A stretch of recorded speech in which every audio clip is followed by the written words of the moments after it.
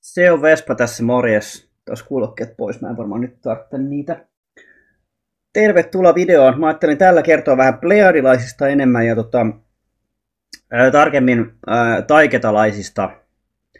Ja mä oon muutamilla luennoilla sitten puhunut tästä jo. Jos olette mun luennoilla käynyt, niin olette ehkä kuullut näistä juttua. Mutta mä ajattelin tehdä nyt tähän videoon myös sitten, mä käytän noita slideja hyödyksi. Nämä perustuu tosiaan Svaru, Svaru Officialin sisältöä ja Cosmic Angelsin kanavalla on myös näistä kerrottu. Ja eli mä kerron neljästä planeetasta, missä on uh, Pleiadeilla elämää, eli seulasten tähtikuviossa. Uh, mutta, eli nämä on taikeita tähteä kiertäviä planeettoja. Mutta uh, siellä on enemmänkin elämää, eli ei ole pelkästään taikeita tähteä kiertävällä planeetalla, myös on, kun siellä on Pleione, Maija, Asterope ja niin edespäin, niin Merope, siitä saisi toisen videon sitten kävisi ne kaikki lajit läpi. Ja sitten se, että millä tasoilla on elämä, jos mietitään tätä meidän 3 tai 5 fyysistä olemista, niin se on tietty toinen, mutta sitten taas eri tasoilla niin saattaa olla myös elämää ja sitten se menee vähän niin kuin monimutkaisemmaksi, mutta puhutaan nyt tästä semmoista elämästä, mitä me voidaan havaita. Eli mennään suoraan sitten slideihin ja tota, tosiaan tuossa Facebook-keskustelussa oli Facebookin suvo-ryhmässä vähän näistä peleistä ja muuta, että eihän siellä ole niin kuin, oh, sillä etäisyydellä, meillä on joku tietty tapa, miten me mitataan. Et kun maapallo on tietyllä etäisyydellä aurinkoa ja aurinko on tietyn verran lämpöinen, niin se on se meidän NS elinetäisyys. Eli siitä tietty vähän, vähän sivu ja vähän niin kuin toisen sivu on se raja NS, mitä me ymmärretään. Mutta meidän tiede ei täysin ymmärrä eikä osaa mitata noita. Me mitataan tällä hetkellä vaan noita jotain valospektrejä noista tähdistä. Me ei tarkalleen tiedetä, minkä lämpöisiä ne on. Ja plus ne etäisyydet myös on hyvin vaikeita meidän edes mitata ja tietää. Ja me ei olla edes havaittu kaikkia planeettoja, mitä Pleiadeissa on, ja se on aika mahdotonta. Se veisi, meillä pitäisi olla niin kuin, se veisi hirveästi työvoimaa, että me voitaisiin kaikki planeetat havainnoida edes pelkästään Pleiadian tähtikuviosta, koska niitä on, siellä on aivan valtavasti kaikkea. Se vaatisi tota, parempaa laitteistoa. Meillä pitäisi olla tuhansia teleskooppeja samaan aikaan eri alueilla ja paljon työ, työvoimaa, että me saataisiin tehtyä se niin järkevässä ajassa. Mutta ei mennä siihen. Mennään nyt tähän tota, slide-juttuun sitten. Katsotaan, saako mä tämän sillä hienosti. Kai se tästä sitten toimii. I hope so. Oho, mikä slaidi täällä on tullut? Alright, eli kerrotaan vähän aluksi tuosta lyyralaisten kaukasta historiasta. Eli me ollaan myös lyyralaisia, eli Lyyran tähtikuvio on se, mistä on niin kuin, lähti semmoinen iso laajentuminen sitten, kun oli Orionin ja Lyyran välinen sota. Olette varmaan kuullut tästä, eri monet lähteistä on kertonut tästä myös informaatioa. No silloin oli kuitenkin tietynlainen sota, josta sitten porukka lähti jakantumaan eri, eri planeetoille asuttautumaan. Sitten ne löysi Pleiadien tähtijärjestelmä muun muassa ja sitten muihinkin tota, muillekin planeetoille lähti asuttamaan. Ja sitten jossain vaiheessa sen jälkeen sitten tänne maapallolle tuli, tuli niinku porukat. Eli me ollaan samaa sukupuuta näiden pleiadilaisten ja muiden lajien kanssa. Eli me ollaan tätä homo homo sapiens ihmislinjaa, mutta ne on myös humanoideja ihmislajeja, me ollaan niinku niiden sukulaisia. Ja fyysisesti ne onkin todella samannäköisiä. Sitten on tietysti muita lajeja, mitkä on, on todella erinäköisiä, mitkä on sitten eri sukulinjaa, mutta nämä pleirilaiset muun muassa on meidän sukulinja. Okei. Okay. Eli kauan kauan sitten, jotkut pleirilaiset sanoivat, että jopa 200 000 vuotta sitten, toiset sanoivat, että jopa 2 miljoonaa vuotta sitten, Eli niillä on, niillä on tota, tietynlaiset arkistot ja tiedostot, mitä, mihin ne pääsee käsiksi, niin siellä on vähän erilaista aika, aikajanaa ja niin edespäin. Eli tässä me puhutaan nyt maapallon vuosista. Niillähän on kierto erilainen ja niin edespäin, mutta ei mennä siihen. Eli nämä on niin kuin laskettu, laskettu nämä ajat silleen niin kuin meidän ymmärrettäväksi. Eli sehän olisi tietty ihan eri sitten, mitä se on heidän aikakäsityksessä ja heidän kierrossa, mutta ei mennä siihen. Um, eli siellä tota, asuu noita ihmisen näköisiä Vega-nimissä tähteä kiertävillä planeetoilla siellä niin se planeetan nimi oli Lyra siis. Okei, okay, joo. Vega oli se tähti. Ja tota, niin, se tähtijärjestelmä oli myös Lyra. Joo, ja se yksi planeetta oli nimeltä Lyra myös. Okei. Okay. Noin 25 vuoden päässä sijaitsee se mesta. Ja Tuo oikein mielenkiintoista, että no, mitä se on, miten se voi olla Lyra se nimi ja niin edespäin, ja että mistä me tiedetään se nimi. No se on se nimi, millä me kutsutaan sitä. Se, millä tavalla playeriset kutsuu sitä muuta, niin se on, se on sitten tietysti eri, eri sanamuoto, eri, eri, mutta me puhutaan nyt meidän termeistä, mutta osa sanastosta on myös tullut sitten meille, että me käyt, meillä on niinku samoja sanoja. Mutta joo, Maailman galaktisen federaatio, eli galaktisen liiton tai galaktisen federaation arkistot kertoo siitä, että Lyra on ihmislain alkuperäinen syntymäkoti, mutta osa arkistoista osoittaa, että ihmislaji on luultavasti paljon vanhempi. Että se on saattanut alun perin lähteä ihan muualta kuin sieltä Lyrasta, mutta koska jos me katsotaan, niin kuin, aikahan on tavallaan loputon. Me voidaan mennä ajasta taaksepäin ja taaksepäin ja taaksepäin ja taaksepäin ja taaksepäin ja taaksepäin. Ei ole mitään niin kuin, lähtöä käytännössä. Eli aina löytyy vanhempaa siinä tietyssä aikalinjassa, jos katsotaan. Joo, eli Lyras asui avaruusmatkailun omavia olevaisia, eli mitä me voidaan kutsua ihmisiksi. Ne on ihmislajia, kaksi kättä, kaksi äh, jalkaa, pää, hiukset, niin edespäin. Uh, mutta tämä planeetta koki vihamielisen hyökkäyksen kautta invaasion, eli siellä kertoo, että sinne tuli tämmöisiä drakoreptiliaaneja, eli ilmeisesti alfa-drakoja, näitä on useampia lajeja, mutta dragoreptiliaaneja sekä maitreja, mitkä on semmoisia, kun on näitä lyhyitä isopäisiä, millä on tummat silmät, mitä me tunnetaan setoina tai harmaina, niin nämä maitret on semmoisia pitkiä harmaita. Ne on sitten sukulaislaja taas keskenään. Mutta joo, eli Orion porukat hyökkäsi sinne niin sanotusti silloin kun tämä invasio tapahtui, niin rauhanomaisella lyyralla ei ollut muuta vaihtoehtoja kuin evakuoida ja paeta sitten planeetalta. Eli niin oli avaruusaluksia, mitkä on niiden nykyisen teknologian verrattuna todella primitiivisiä, siis primitiivisempiä, mutta jos me mietitään, siis verrataan meidän lentokoneisiin ja muihin, niin totta kai ne on todella edistynyttä teknologiaa oli myös to, tollon, tollon kyllä. Mutta ne on nykyään, nykyään niillä on paljon kehittyneempää kuitenkin. Ne, ne oli kuitenkin avaruusmatkailun osas ja niin edespäin. Suurin osa ei, ei kerännyt pois sieltä planeetalta ja ne tuhottiin tai otettiin kiinni. Mutta sitten osa onnistui pakenemaan ja levisi useisiin eri suuntiin. Eli tarkoituksenmukaista oli jakautua eri, eri suuntiin, että jos joku porukka saataisiin kiinni, niin sitten ei kaikki saataisi kiinni.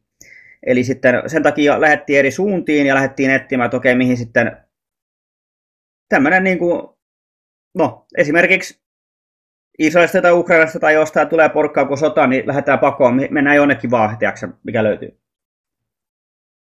Tuo on tietysti vähän vaikeampaa, kun tässä joutuu etsiä sellaisia planeettoja, mitkä on asumiskelpoisia sitten.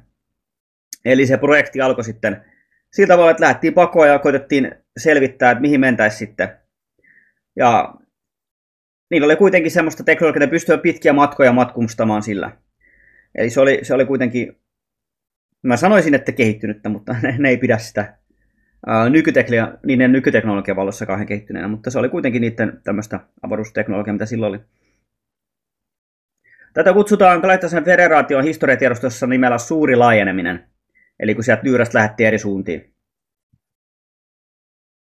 Alright, ja sitten nämä jakaantuneet onnistu löytämään elikelpoisia planeettoja sitten, osassa oli jo valmiiksi elämää, joihin lyyraiset otettiin vastaan, eli ne meni tietty, tiettyihin tähtikuvioihin. Öö, tässä ei nyt sanota, mutta esimerkkinä vaikka Andromedalle tai jotain. En tiedä menikö Andromedalle, mutta tämä oli tämmöinen esimerkki. Mutta johonkin, johonkin mestoihin ne meni, missä oli jo muita lajeja, älykkäitä lajeja, ne otettiin sinne vastaan re- re- refugee-meiningillä. Mutta sitten sit ne löysi myös planeettoja, missä ei ollut vielä älykästä elämää, että oli jotain elälajeja ja muita, ja ne päätti asuttautua niihin sitten. Tämä etsintä kesti noin 300 vuotta, eli on pitkä aika, eli ne asu niillä aluksilla, ja niissä aluksissahan on, on tota omat niin kuin puistoalueet, ja ne pystyy kasvattaa farmassia ruokaa ja kaikkea. Ne, se on niin kuin ne pystyy asumaan siellä normaalisti. Siellä on totta, sitten, ja pleijalaiset elää myös pitemmäksi, eli käsittääkseni ne elää noin 500-vuotiaaksi, vai oliko, oliko 1000-vuotiaaksi, jotain tällaista kuitenkin. Eli niille se aika ei välttämättä ollut niin pitkä, mutta onhan tuo aika pitkä aika silti. Pakoilin näitä orionilaisia tosiaan ja, ja sitten y- yksi tämmöinen kohtuu pieni porukka löysi täältä Pleiadin eli Seulasten tähtijärjestelmästä sitten tämmöisen Taiketa-tähden. Ja sitä kiersi, kiersi planeetta, joka oli lämmin sekä sininen asumiskelpoinen planeetta. Tämä planeetta oli vesiplaneetta ja siellä oli ympärissä pieniä ja isompia saaria. Eli se oli todella niin kuin maapallon tyylinen, että siellä on todella paljon vettä, sitten on, on pieniä ja isompia saaria. Mutta se vesiala ilmeisesti käsittääkseni on täällä vielä enemmän kuin maapallolla, eli siellä on vielä enemmän sitä vettä niin kuin verrattuna maalla, mutta kuitenkin. Ja tämän nimeksi annettiin sitten Temmer. Eli tuossa on toi Taiketan tähtikuvio ja sitten tässä on, on tota, Cosmic Agency on, hänellä on halussa näitä kuvia näistä taiketalaisista, eli nämä kasvot on oikeita näistä, mutta kuvia on osittain käsitelty, noi puvut ja muut ilmeisesti. Ja täällä ne ei ihan suoraan pysty vielä antaa aluksista muun muassa suora, suoraan itsestään kuvia, niin se on ongelma, koska siellä on tämä Prime, Prime Directive estää, eli vaikuttamattomuus suomeksi kääntyy käytännössä vaikuttamattomuuslaki. Eli ei saada, ei saada vaikuttaa kehittyneisiin lajeihin näkyvästi. Sen takia ei voida suoraan niin kuin, antaa kuvia, mutta tässä nyt on niin kuin, ne menee vähän sillä rajapinnalla tällä hetkellä, että aikatalaiset. Ne on tietynlaisia kapinalaisia tässä näin, että ne on, on aika yhteydessä, vaikka ne ei suoraan saa olla. Ne ei saa niin kuin, suoraan toimia, mutta tietyllä tavalla kuitenkin toimii ja antaa informaatiota. Ja tietysti aina yksittäisille ihmisille voidaan, niitä voidaan tavata, niiden kanssa voidaan keskustella ja niin edespäin. Ja sitähän ollaan tehty semmoista pehmeätä herättelysuunnitelmaa, että pikkuhiljaa näyttäydytään Phoenixin valot ja niin edespäin, oli vähän isompia projekteja. Sitten on näitä pienempiä näyttäytymisiä ollut ja henkilökohtaisia tapaamisia ihmisillä ja muuta, että ei edellähän mitään niin presidenttejä. No, siellä on tietynlaisia yhteyksiä on myös tietyillä tahoilla, mutta ei mennä siihen. Mutta joo, eli ne meni tuonne Taiketan tähtikuvioon, mutta sitten on muissakin tähtikuvioissa on käsittääkseni. Tai se täällä Pleiadian näissä Taiketa tähtiä, Maija, Maija tähtiä ympäri, mun mielestä sielläkin on. Mutta joo, mä en, nyt, en tiedä niitä kaikkia planeettoja, mä voin tehdä sitä, mä teen myöhemmin toisen videon, sitten voisin käydä ne kaikki läpi. Mutta sitten muun muassa tarina kertoo siitä, että mihin katosi Inko ja näiden kulttuuri, korkeakulttuuri. Ne kehittyi itse asiassa seuraavalle asteelle, sille galaktiselle asteelle. Ne lähti tuun täältä. Ne lähti pois täältä. Ne tultiin hakemaan. Tai ne oli semmoinen niin kuin, tietty aalto. Tässä on muutamia aaltoja ollut, missä ihmiset on kehittynyt. Ne on päässyt seuraavaan asteelle ns 5D, tai niin, miten halukaan kutsua. Ja ne on sitten viety ne on sitten tuolla Maja-planeetalla, se hyvin se nimi jo kertoo siitä, että siellä on minkälaista porukkaa, se, ketä, keitä siellä on, meidän sukulaisia. Eli se historia, mitä meille kerrotaan, on tietysti ihan eri, mitä, mitä tässä nyt tällä hetkellä. Voi olla vähän sulattelemista kyllä jollekin. Alright, um, Temmerin painovoima on sitten 0,8 maata, eli se yksi planeetta, mikä löytyy tuolla taiketan tähtiä kiertävistä, sininen planeetta. Se painoi 0,8 maata, eli saat noin 2 prosenttia kevympi siellä. Jos sä painat, oh, no toivottavasti painat 100 kiloa täällä, mutta jos painat, niin sit painat, mutta jos painaisit, tai painat täällä 100 kiloa, niin siellä sä painaisit 80 kiloa. Eli se olisi niin kuin vähän kevyempi meininki. Keskilämpötila siellä on 30 astetta. Eli se on semmoinen kohtuu lämmin, trooppinen mesta. Ja se on geologisesti paljon tasapainoisempi kuin maapallo. Eli tästähän monet lajit on sanonut, että ei, niin kuin, tämä ei todellakaan ole niin kuin järkevä planeetta asuttautua. Ne vähän ihmettelee, että miksi täällä on, kun maapallolla niin paljon on, on maanjäristyksiä, tsunameja ja kaikkea tämmöisiä, mitä hurrikaaneja ja muita, mitä sitten ajan saatossa tulee, että totta kai sä voit asua jossain, mutta jos sä niin mietit pitempimuotoista elämää vaikka 200 vuoden aikana, niin, niin tota, sitten siinä saattaa tulla kahdet, kahdet tai kolmetkin maanjäristykset ja muuta, niin ei, ei olekaan järkevää, mutta joo, mutta tämä oli paljon tasapainoisempi, siellä ei ollut näitä ongelmia. Ja se Temmerin, Temmerin ekosysteemi toimi symbioosissa, eli siellä on, on vain muutamia salistajaelämiä ja eläimet ja kasvikunta ja muut toimii hyvin symbioosissa, siellä on hyvin esimerkiksi rauhanomaista meininkiä. Ja kun nämä lyralaiset asutti tämän Temmerin, niin siellä ei ollut alkuperäisiä asukkaita. Eli siellä, siellä ei ollut niin kuin näitä, siellä ei ollut tuota sivistynyttä älykästä elämää, että siellä oli vain niin kuin elämiä, jota siinä päätettiin tehdä oma kolona sitten. Ja se sitten se kolona perustettiin sinne suurimmalle saarelle, ja se myöhemmin nimettiin nimellä Toleka. Ja tämä Toleka on sitten käsittääkseni sen, äh, sen saaren nimi on Toleka ja siellä on iso kaupunki, minkä nimi on Toleka, tai miten me nyt nähdään kaupungit, ne on vähän erilaisia, erilaista meininkiä siellä, ne on enemmän luontomeininkiä, mutta kuitenkin se nimettiin nimellä Toleka myös se kaupunki, ja sitten on, se on myös nyt tämän yhden taikatallisten emaluksen nimi on myös Toleka. Tämä Toleka-saari on suurin piirtein uuden Seelannin kokoinen, ja sen maisemat uh, luo hienoa kontrastia. Siellä on niin kuin lämpimiä hiekkarantoja, ja sitten on myös kau- kau- kaukaisempana on, näkyy horisontista tämmöisiä lumenpeittämiä, vuoria. Eli siellä on, vaikka se keskilämpötila on 30, niin siellä on, on myös sitten tiettyjä alueita, missä on, on tota lunta, lunta ja pakkasta. Sen itäinen rannikko on iso matala viherkasvu. Anteeksi. Sen itäinen rannikko on ison matalan viherkasvuston, viherkasvuston peitossa. Meri on, meri on turkoosivärinen. Sinne saarelle perustettiin sitten tosiaan tämä Toleka-kaupunki ja se, se rannikko on hieno, kun siellä on todella paljon semmoista kvartsihiakkaa. Eli se on käynyt jonkinlaisen prosessin se planetta aikoinaan läpi, että se kvartsi on noussut, kvartsikristallit ja tämä kvartsikristallihiakka on noussut sitten sinne pinnalle ja se näkyy todella kauniina, kun öisin niin se hohtaa semmoista sinistä valoa muutenkin, kun se niiden nämä, tämä taikata-tähti on sininen tähti ja muutkin nämä tähdet, mitkä siinä, siinä vaikuttaa siihen, niin siellä on sellainen sininen spektri. Ja sitten kun nämä, se kristallihiakka ja ne kristallinpalaset, mitkä siellä on, siellä on isompiakin kristalleja, niin ne heijastaa todella hienosti sitä valoa. Ja siellä ei oikeastaan koskaan ole silleen ihan täysin pimeätä yötä, johtuen siitä sen auringon etäisyydestä ja valomäärästä. Mutta siellä on kuitenkin sanotaan hämäriä öitä, sanotaan näin. Ja sitten siellä on, on jopa tämmöisiä 80 metriä korkeita kristallikallioita. Eli myös todella isoja kristalleja. Eli kyllä niin kuin hienosti, jos, jos tota, varmaan muutamia tähtisiä menee ja katsoo tätä, jos jotenkin kristallit vetää puolensa, niin on saattanut asua tuolla entisissä elämissä. Ja merialot iskee kaunista noihin kristalleihin. Ja se on sunne, tulee sellainen hieno värileikki siellä. Eli se hiakka on semmoista läpinäkyvää kristalli, kvartsikristallihiakkaa. Eli todella kaunista, kaunis meininki. Siellä on todella harvoin myrskyjä. Se maaperä on hedelmällistä ja hyvä, hyvä hedelmien sekä kasvien kasvattamisen kautta viljelyyn. Eli siellä kasvatetaan paljon hedelmiä ja kasviksia viljellä ja tälleen, että se on suurin osa niiden ruokavaliosta niin keskittyy näihin, näihin käsittääkseen, niin ilmeisesti voivat syödä lihaa. En tiedä, syövätkin, syövätkin varmaan osa heistä.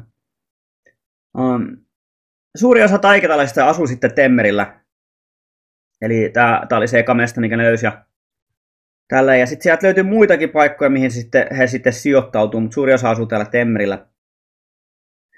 Uh, Tolekan kaupunki on hyvin levittäytynyt, eli se on sellainen, se on levittäytynyt tietyllä tavalla. Se toimii symbioosissa luonnon kanssa. Se ei ole sellainen tiheästi asuttu niin kuin tämä, että on kerrostaloja ja muita ja menee siellä tiet ja muutama puu, jossa on joku pari puistoa välissä, vaan enemmän on sitä kasvustoa ja ne asuu siellä sitten semmoisessa symbioosissa enemmän.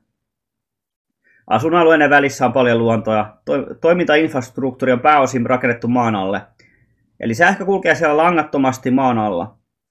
Ja eli kaikki tämmöiset generaattorit ja muut on siellä maan alla ja sitten tota, se tuotetaan sellaisilla nollapiste vapaa-energiageneraattoreilla. Eli me, tunnetaan meidän tietää Zero Point Free Energy Generator tai Zero Point Free Energy, niin täällä periaatteella ne toimii. Ja ne on pääosin tosiaan maan alla piilossa, ne ei häiritse niin kuin luontoa ja muuta, että se on, se on niin kuin hieno se meininki. Tässä on vähän niin kuin havaintokuva, miltä, miltä osittain voisi näyttää ne alueet. Siellä on enemmän, no tuossa nyt on tolleen, vähän se ehkä sinne päin, mutta se ei, tämäkin on enemmän kaupunkioloinen tää, tässä ei näy niin paljon luontoa, mitä tietysti tuolla näkyy tuommoista puistoaluetta, mutta siellä on vielä enemmän sitä luontoa. Mutta tämmöisiä pyöreitä muotoja siellä on enemmän kyllä. Eli ne, ne ei sille rakenna tämmöisiä neljäkoppeja, niin kuin täällä maapallolla monesti on kerrostalla. Ja lähimatkustus tapahtuu tietynlaisilla sähköautoilla, ei ole tietysti verrattavissa meidän, meidän, meidän tota sähköautoihin, mutta kuitenkin ne toimii niin kuin sähköllä, mikä tuotetaan siellä, sieltä maan alta sitten. Eli ne vastaanottaa, kun ne kulkee pinnalla, niin ne vastaanottaa koko ajan sieltä maan alta sitä energiaa, jota ne sitten pystyy lataamaan. Eli ne ottaa langattomasti energian planeetan energiaverkosta. Ja pitkä matkan ta- matkustus tapahtuu pääosin magneettisilla junilla, eli maglevit on vähän samantyylisiä. Uh, ne kulkee esimerkiksi läpinäkyvien putkia sisällä korkealla ilmassa, noin 10 metrin korkeudessa. Eli silloinkaan ne ei, ei häiritse luontoa, kun ne kulkee siellä niin kuin ilmassa korkealla. Ja ne on sitten totta kai pilarien tukemana tämä toiminta.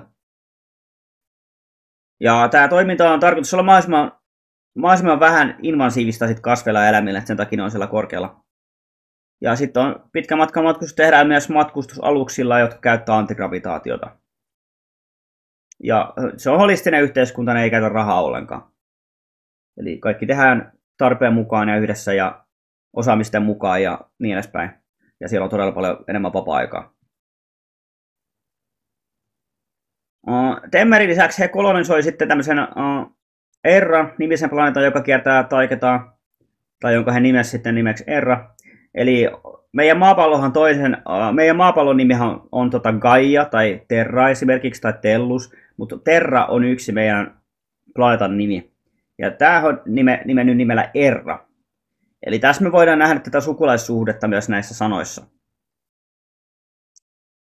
Ja tosiaan tämä Erra on sitten se heidän antama nimi, eli käsittääkseni me ei olla vielä, meidän tähtikartat ei vielä löydä sitä planeettaa, me ei olla vielä löydetty sitä käsittääkseni, eli meillä ei ole vielä nimeä sillä. Mutta nämä on nimennyt sen nimellä Erra.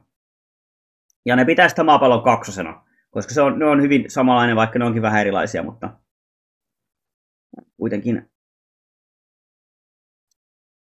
Ja tota, eli tämä, tämä Erra on sitten vähän samantyylinen, kun tuossa Temmerissä oli enemmän sitä vettä ja vähän pienempiä ne maa-alueet, niin tämä on sitten, tässä on vähän enemmän sit maa-aluetta, vähän enemmän niin kuin maapallon verrattuna.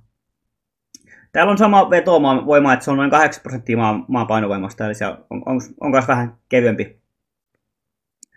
Se on täynnä sitten tiheitä metsikköä myös ja vuoristoa. Eli, eli tota, toi oli enemmän sellainen beach, beach-mesta, toi Temmeri, niin tämä Erra on sitten vähän, vähän niin kuin enemmän maapallon kaltainen, että on sitten on, on isoja metsäalueita ja puita ja niin edespäin vähän enemmän.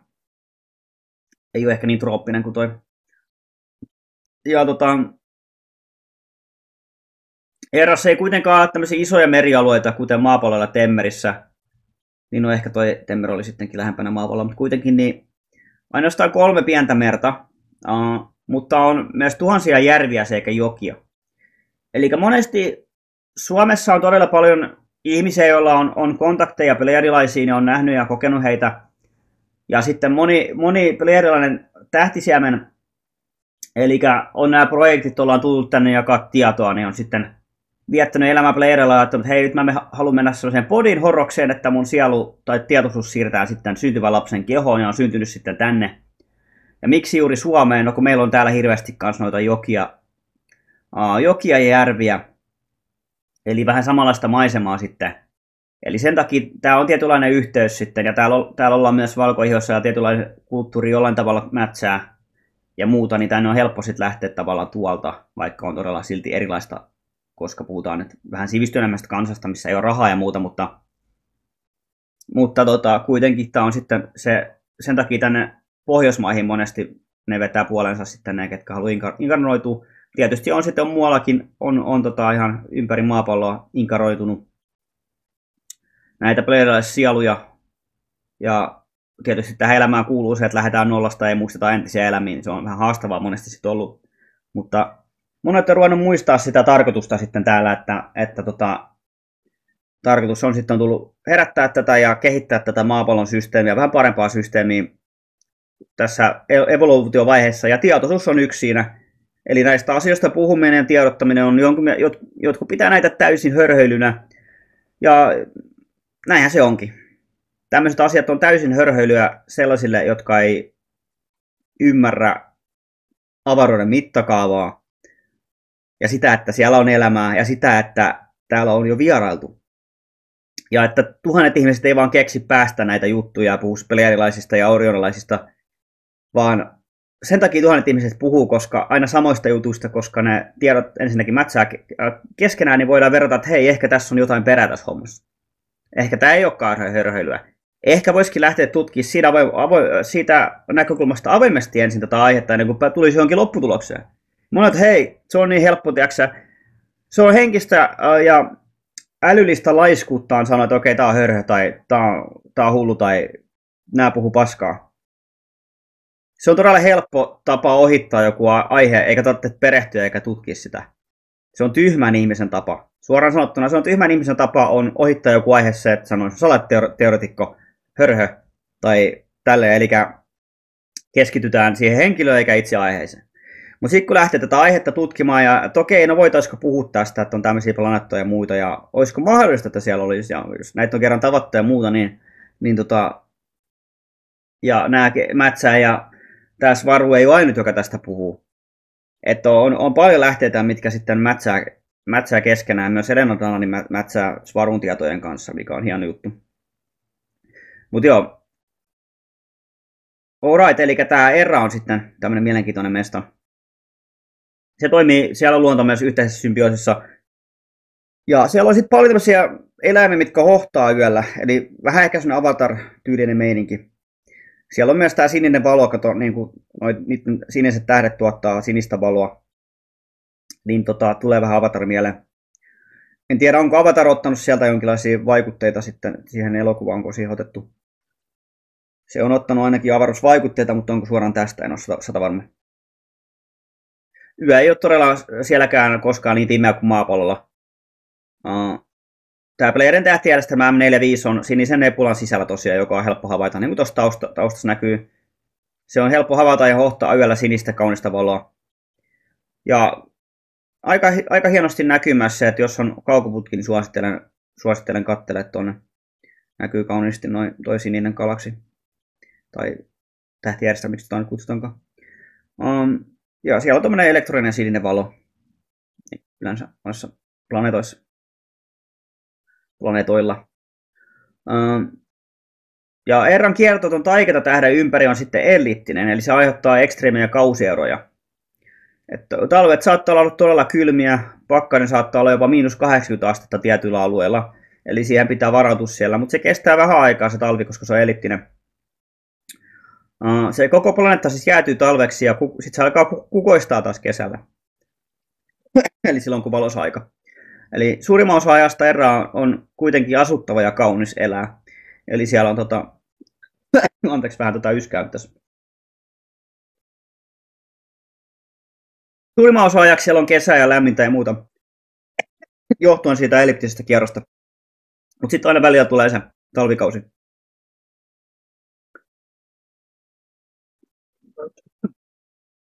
Ja siellä Temmerissä, kun oli eniten elämää, niin tämä Erra on sitten toiseksi asutuin tota, tässä Taiketan tähtijärjestelmässä.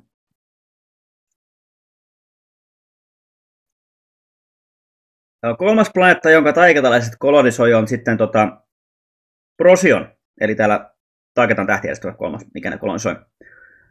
Ja su- tämä on suurin neljästä asutusta planeetasta, mutta sillä ei ole mitään tekemistä samanimisen tähden kanssa, että on Prosio-niminen tähti myös, ainakin me, meidän kielestä tiedetään. Ja painovoima on sitten maapallon verrattuna 102 prosenttia, eli siellä on 2 prosenttia raskaampaa kuin maassa. Eli se on aika iso mesta ja siellä on isompi, isompi vetovoima. Ja se on taas sitten sellainen viidakkoplaneetta, jossa on kuumaa ja kosteaa. Ja se on täynnä vaarallisia alkuperäis, täynnä vaarallista alkuperäiskasvustoa sekä e, vaarallisia eläimiä. Siellä asuu vain muutamia, muutama taiketalainen, koska se on, sen säälautuset on niin rankkoja ja painovoima on raskampi. Ja se on tästä syystä niin kuin suurimmaksi osaksi asuttamaton ja se annetaan kehittyä itsenäisesti omien luonnonlakiensa armoilla.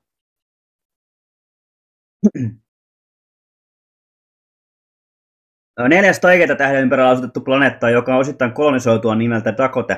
Mä näytän vähän kuvia noista sitten tuo, jossain vaiheessa kohtaa. Niin tota. Mutta ne, neljäs on nimeltään Dakota, ja se on kauempana tähdestään kuin nämä kolme muuta. Eli se on niin kuin näistä neljästä kauimmana, ja se on, sen takia se onkin jääplanetta. Mutta se on täynnä tundra-tyyppistä kasvustoa sekä elämiä. Ja painovoima on sitten 0,7 maata, eli se on, siellä on, se on niin kuin näistä kevy, kevy, kevyin fiilis on siellä. Siellä voi vähän poppia korkeammalle. Keskilämpötila siellä Dakotella on miinus 40 astetta. Ja se on sitten taikenan tähtijärjestelmän vähiten asuttu planeetta, koska se on niin kylmä, kylmä mesta. Ja sitä käytetään lähinnä armeijatukikohtana, eli siellä sitten voidaan tutkailla ympäristöä ja suojella sitten, ja siellä voidaan pitää taikatalaista armeija-aluksia ja niin edespäin. Ja tota, siellä myös sitten jonkinlaisia miittejä, tapaamisia, vaarallisempia juttuja järjestetään, että jos ei, ei voi kannata järjestää muilla planeetoilla, sinne voisi ottaa, ottaa niin kuin kokoustamaan. Turvallisuussyistä niin voidaan tehdä näin.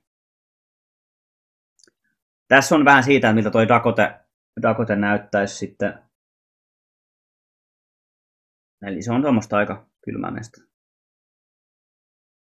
No, tässä me nähdään sitten nämä neljä planeettaa, eli Erra, Temmer, Dakote, Procyon. Eli Temmer näyttää enimmäkseen niin kuin maapallon tyyliseltä tuossa kuvassa ainakin. Verran. Eikö mä, no, johtuu vähän mitä ne ajattelee sitten. Temerissä on eniten vettä ja Erassosta on maata vähän enemmän ja niin edespäin.